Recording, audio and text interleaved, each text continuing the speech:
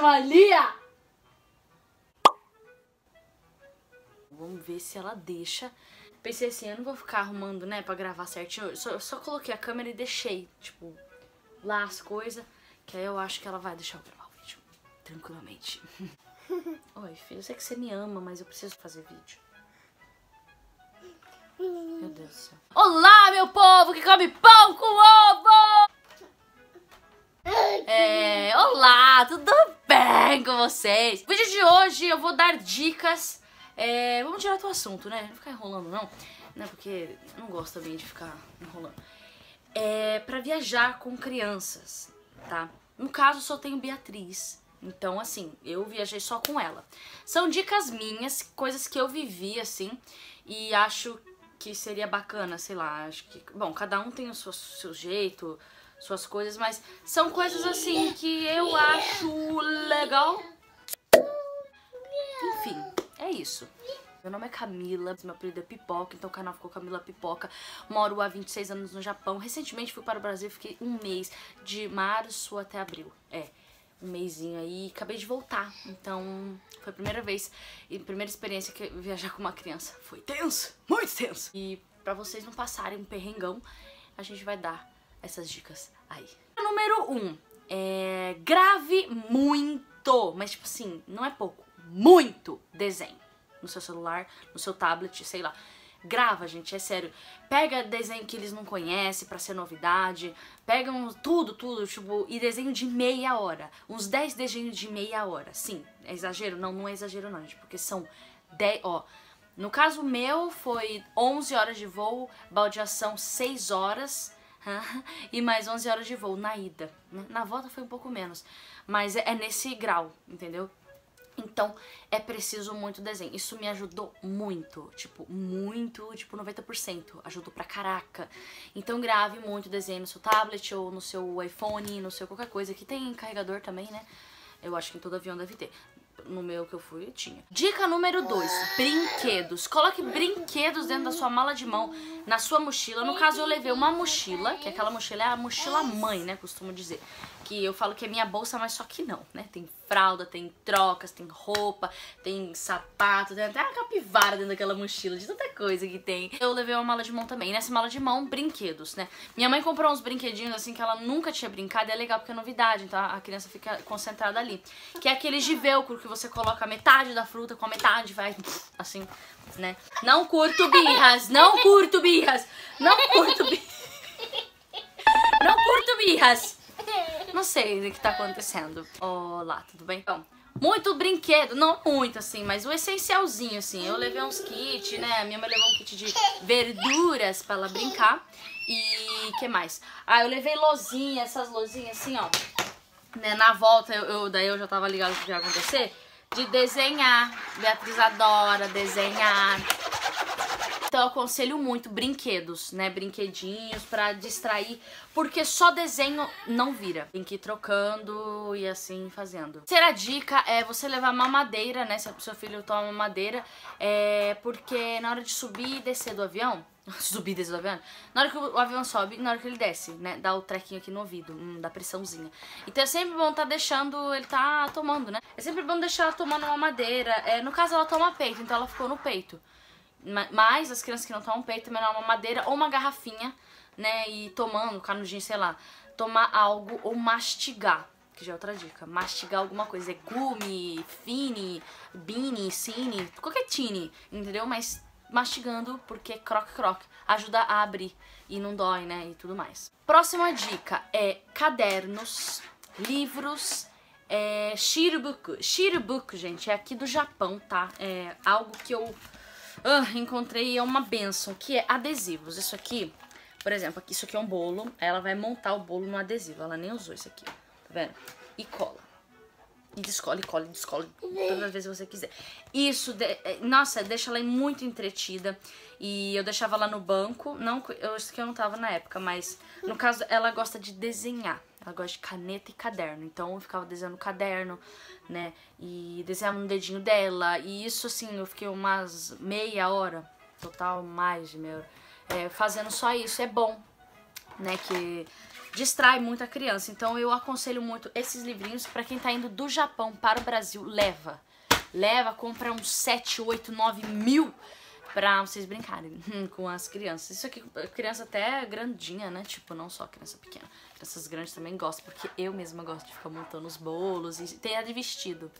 Tem vários, vários, vários mesmo. Então é isso que eu aconselho. Caderninho, é ficar desenhando, ficar colando. Origami. Origami é legal também, dependendo da idade da criança, você fica fazendo origami. Isso, nossa, leva a criança, a criança até esquece, tá dentro do avião. Claro, livros, né? A Beatriz ainda não tem a vibe de livros, ela não, não tá muito assim para livros, mas tem crianças que adoram livros, então eu aconselho livros também para contar historinhas e tudo mais.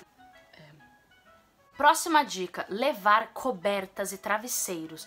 Sério, gente, na ida eu não levei, então eu usei do avião, mas isso faz muita falta, sabe? Você levar uma... Esse aqui eu levei na volta, que eu ganhei na pipoqueira, e esse aqui também que eu ganhei da, no, né, da pipoqueirinha. Isso fez muita diferença, tá? Por quê? Porque assim, no caso dela, ela tem menos de dois anos, então ela não tem assento. Ela tinha que dormir no meu colo, no colo da minha mãe, assim, ela, a gente esticou ela, a gente usou os travesseiros que tinha, né? Eu tinha mais um aqui de pescoço, aí tinha o do avião mesmo, a gente fez uma cama pra ela em cima da gente, ela ficou retinha e mais isso aqui, né? Os cobertor. Então eu aconselho muito levar cobertor, tá?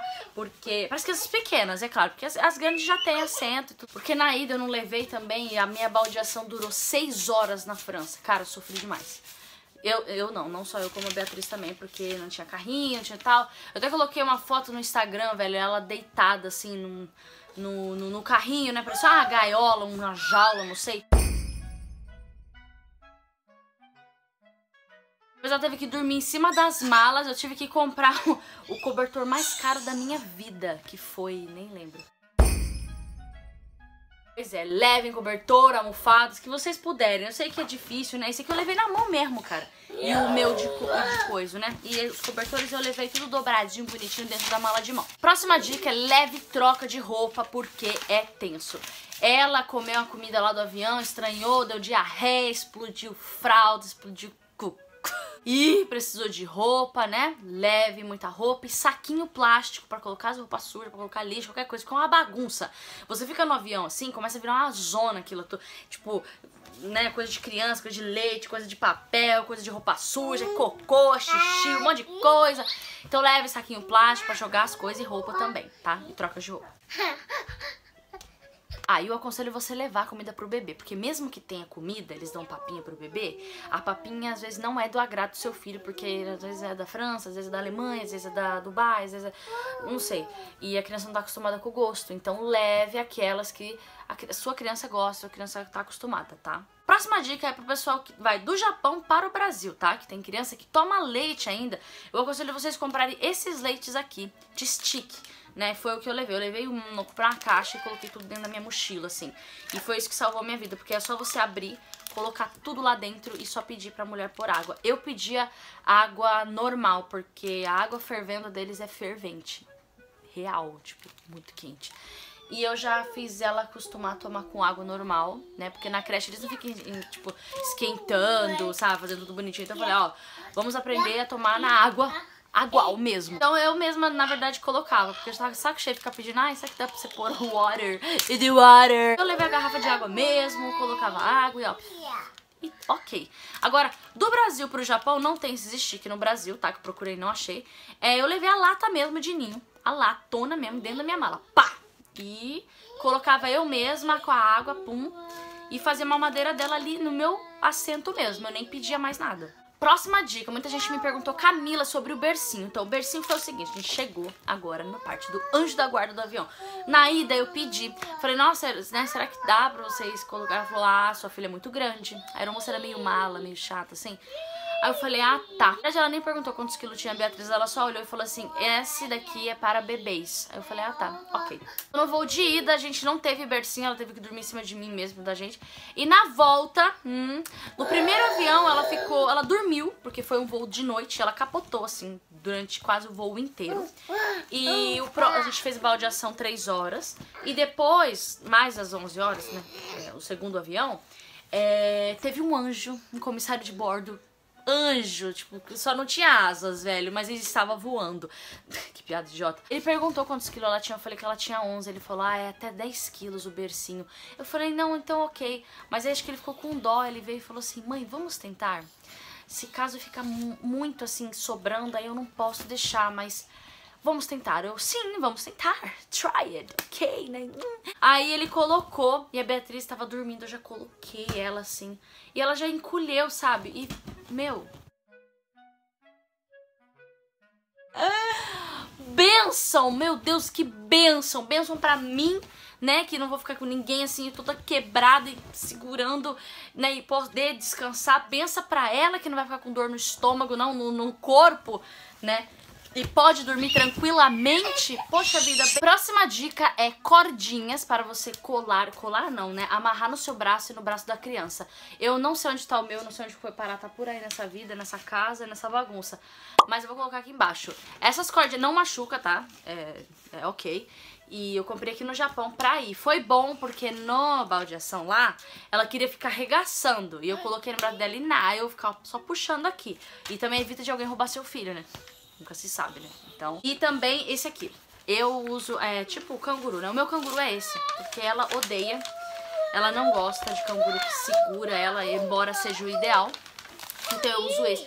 Eu usei isso aqui pra minha vida no Brasil. Eu fui parada na rua várias vezes, que as pessoas ficavam olhando e falando, caramba, o que que é isso? E acharam o máximo, tipo, eu falei, ah, da China, né? Tipo, né, tipo, muito bom. Então, se vocês puderem comprar no AliExpress, no, Wish, não sei, vocês podem comprar, porque quebrou um galhaço na viagem. Próxima última dica é vá ao banheiro com a criança, espareça, saia dos ares, porque, cara, sério, é in, muito tédio você ficar naquele assento, naquele quadrado, e a criança fica, tipo, hum, igual ela tá agora, sabe? E o banheiro é pequeno, mas é outros ares, né? Então você deixa lá. A Beatriz gosta de espelho, ela fica batendo espelho, fica se vendo, se amando, se lindendo lá. Tem, sei lá, é uma diquinha, né? Porque não dá pra ficar andando, né, gente? Corredor não, não tem como deixar a criança ficar andando. E o banheiro é o único lugar. Então eu ia muito no banheiro com ela, limpava o rostinho dela, pegava um pano e tal, dava, né, limpava o corpo dela, dava uma distraída e trocar os ares, porque sério, é tédio. Se pra gente é tédio, imagina pra eles. Pelo amor de Deus. Foi isso, acho que as dicas é mais ou menos isso. Se tiver mais, eu vou falando, soltando nos meus vídeos normais, assim, né? Falando. É, o que eu achei da viagem? Olha, a ida foi tensa. A ida foi punk mesmo, porque foi tudo novo, foi a primeira vez. E Beatriz é uma criança assim, tá vendo? Não para, não para, não para nem de falar. E ela é impulsiva, ela quer ficar andando, ela quer ficar correndo, mexendo com os outros, tem mania de ficar mexendo com os outros, fica pegando nos outros. E tem pessoas que não gostam de criança, tem pessoas que não gostam, né? Querem ficar dormindo, querem ficar de boa. E ela ficava ainda atrapalhando, sabe? Nossa, e isso aí foi estressar a mãe, na real, né? Então, assim, eu... Na ida foi bem tenso. Também eu quase que eu perdi o voo, sabe? Quase que eu perdi o voo na ida, mas aí eu vou contar outro, em outro vídeo. Então, assim, foi meio punk, né? A, a ida, né? A gente tava. O primeiro avião da ida foi meio pesado, assim, né? O clima. Mas a volta foi tranquilaço. É... Ela reagiu muito melhor. Que isso? Sono. Pensa no sono. Você quer dormir? A volta foi tranquilaço e também o lance do bercinho. Ela dormiu no primeiro voo quase inteiro. O segundo também teve o bercinho, então ela dormiu bem também. Então foi bem tranquilo, foi bem de boa, né? E eu espero que vocês gostem desse vídeo, espero que eu possa ajudar mas qualquer dúvida, gente, quando vocês forem viajar, ligar para a companhia de vocês ou entrar em contato com os pessoal, é, pede carrinho na baldeação, eu aconselho muito, carrinho de neném. Isso, eu não quero ficar, que fique muito comprido esse vídeo, espero que vocês gostem. Eu vou fazer essa doida dormir, porque ela já tá causando, tive que parar esse vídeo três vezes, porque ela começou a dar ataque aqui, chorar, e eu fico estressada. O sono, deixa eu ver se fez cocô. Não fez, então tá ótimo. Um beijo, até o próximo vídeo, fiquem com Deus, e a gente se vê, não sei onde a gente se vê. Beijos e... Foi!